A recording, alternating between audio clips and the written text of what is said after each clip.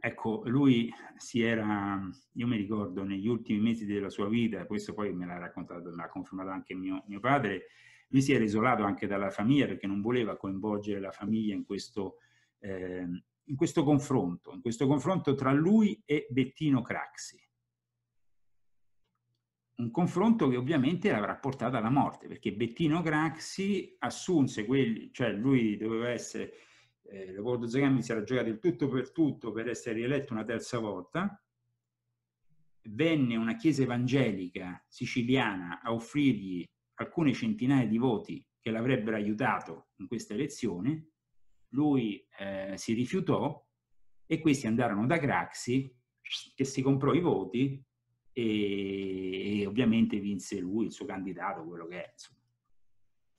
Eh, mio nonno aveva fatto la marcia su Roma, era stato eh, nel partito monarchico, poi era passato al partito socialdemocratico, che era molto importante allora,